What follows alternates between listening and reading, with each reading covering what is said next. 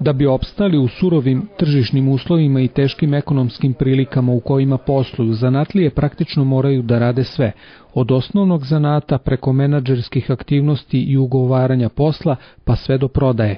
Goran Zagorčić kaže da se kupcu i u bukvalnom smislu mora doći na noge. Posao je tako da svi, svi, svi četvoro dece ovaj, rade, aktivno rade ovi dvojice starijih sinova, znači Ove, nema, bukvalno dan traje ono, od jutra do, do, do mraka, radi se znači od nekih težih stvari do, do lakših sve zavisi, znači ja sam tu da pratim njih dok oni imaju volju da rade i dok oni žele da rade i meni nije teško da radim. Iskreno rečeno tek ove godine ovaj, razmišljamo posle, posle par godina onako pauze od godišnjeg odmora, razmišljamo o nekom godišnjem odmoru pa pravimo planove da ne bi posao trpeo, da recimo neko od nas ode na godišnji, a da neko ostane i da posao bude taj koji, jer nama je prioritet da, da, da ovaj, naše mušterije budu zadovoljne.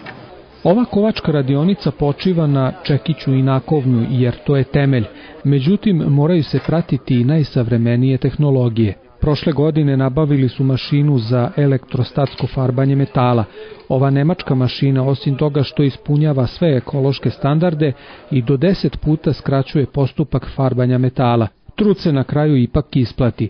Potvrda za to na primjeru zanatske porodice Zagorčić jeste posao kojim je poverila poljoprivredna škola u Futogu. U njihovoj kovačkoj radionici izradit će se ograda koja u potpunosti odgovara 250 godina starom originalu.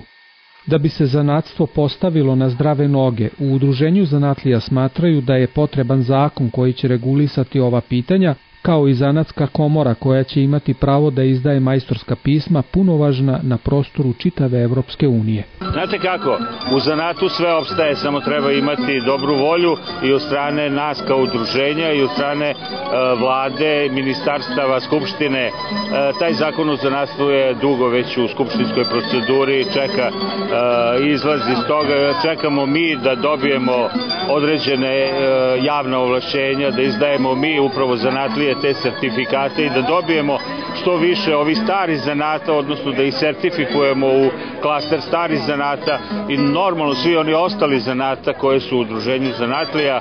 Zanatska kuća gde se može videti deo umeća majstora Kovačnice Zagorčić, kao i drugih novosadskih majstora na platovu ispred Spensa, biće otvorena do 30. oktobra.